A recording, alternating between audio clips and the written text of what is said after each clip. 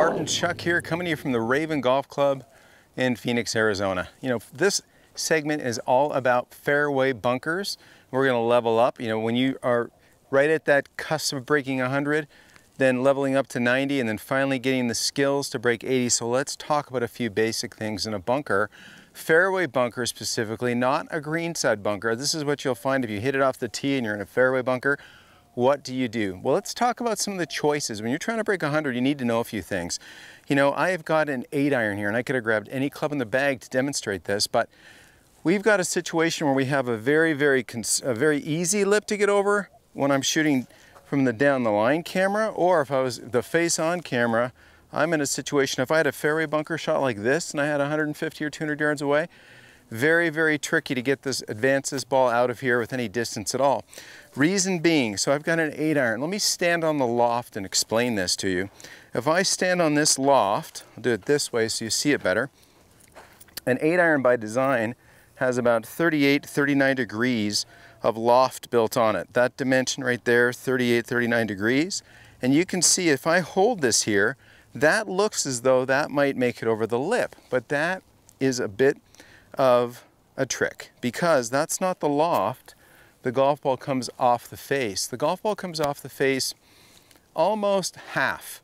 So what you want to do is you want to understand that whatever loft your club is, imagine that the ball is going to launch about half of that loft.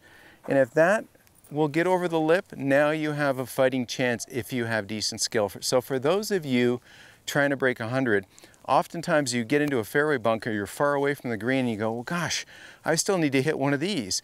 Well, the problem with, say, a club that you have to take the head cover off is this has 19 degrees of loft on it. So imagine if it launches, it's going to launch approximately half. Let's just say it launches at 11 or 12. Okay, I know half of 19 is obviously nine and a half, but it's going to launch a little bit higher than half of its loft. Well, unless you're well back in that fairway bunker, you'll want to be mindful of that because that certainly wouldn't launch over this. In fact, my 8 iron wouldn't launch over this. So you got to be careful. Always be conservative choosing a club to get out of a fairway bunker. Now, that's just a simple thing to get this lesson started. So let me get this hybrid out of here and let's talk about striking. So for those of you breaking 100, what I want you to consider when you get into these bunkers, if you get a decent lie, the rules don't allow you to touch the sand before you touch the golf ball. So you have to address the golf ball. You have to grip the club with the club. You can't set it in the sand. That's a no-no. That's a penalty. And you have to hover the golf club. So when you decide where you're going to aim it and you choose your club based on the lip and the club that will launch above that lip, walk in and go ahead and hover that club. I actually love this because this is what I do when I hit off of grass. I never ground the golf club. And you'll see what I did with my feet. I shimmied in, I set my feet in here a little bit. And people always say, Martin, do you choke down on the club? And I don't personally. I hold the club at the end. I like to feel its swinging weight the same. I don't choke up on it. I hover the golf club whether about a half inch off the ground. Now for those of you that are just trying to break 100, the key in these bunker shots is to avoid all this migration away from the target while you're trying to generate some energy in your backswing because it's really hard to time all of that to get down, touch the ball, and brush the sand. So what I'd suggest you do, breaking 100, is feel your weight biased a bit more into your lead side. I'm not trying to pick these out of here. I'm letting the circle of my swing collect the golf ball. If I hit it solid, that's fine. I'm, I'm anticipating I'm hitting a good shot here. Let's make a strike. There's a nice little crisp strike out there. I was able to touch the ball and brush the sand. Again, I'm not trying to pick it out. So for those of you breaking 100, let's wiggle our feet a little bit. Let's bias our weight a little bit to the left. Let's feel like we don't migrate off the ball. Rotate staying centered. You will have much better chance to hit the golf ball than brush the sand. So next tip for leveling up, for breaking 90, some visual clues to really help you. Right here in front of this ball I just hit, I actually took a wee little divot of sand. One of my visual cheats, what I like to do when I'm hitting fairway bunker shots, once I take my grip, I organize myself, I give my feet a mild little shake to kind of check the firmness and go ahead and establish some stability on the sand.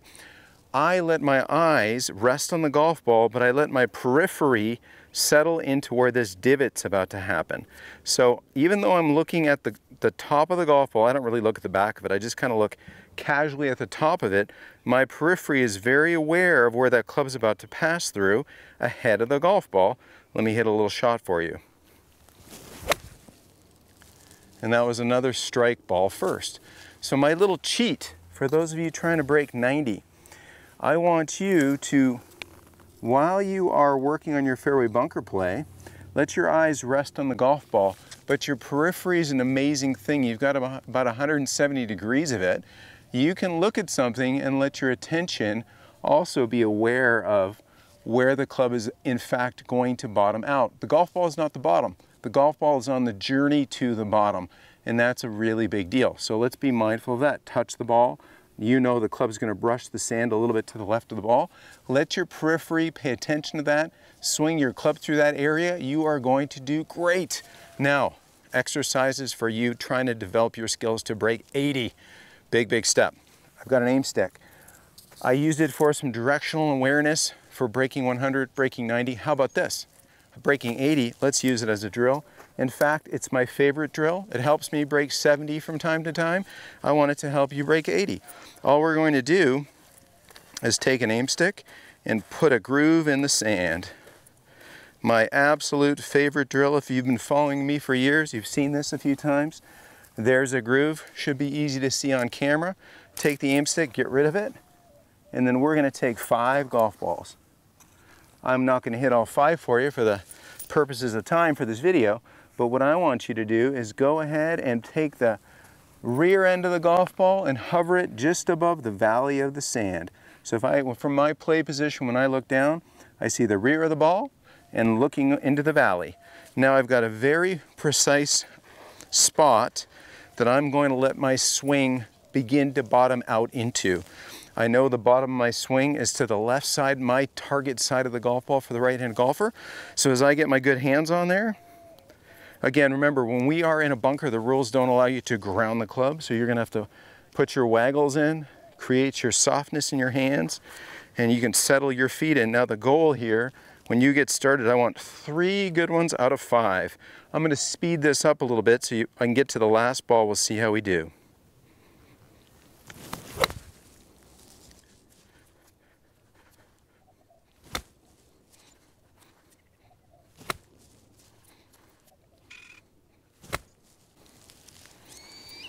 And finally, the fifth ball. I've managed to hit four decent shots, not perfect, but they were ball first, heading toward my target, probably pretty good.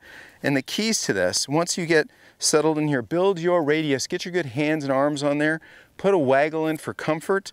We know that the bottom of our swing is gonna begin at the line, the impression in the sand. We're trying to get three or four out of five good ones here. Let's see if I can finish on a good note here. Club's hovered, Waggles from the wrist. Let's get the ball first.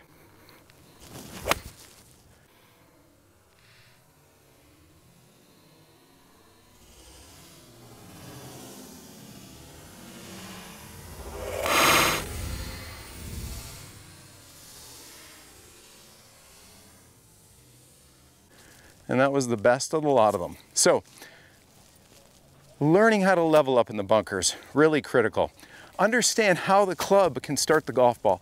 About half of the loft to be conservative. That's how you're going to judge whether or not you can get out of the lip. Also understand that you can use your periphery as a weapon. Just because I'm looking at the camera doesn't mean I can't be aware of what's to my left and to my right. And then finally, breaking 80. This is a great drill. Check out Golf Pass. We got some great stuff on there. All the content providers, the coaches, we care about your game.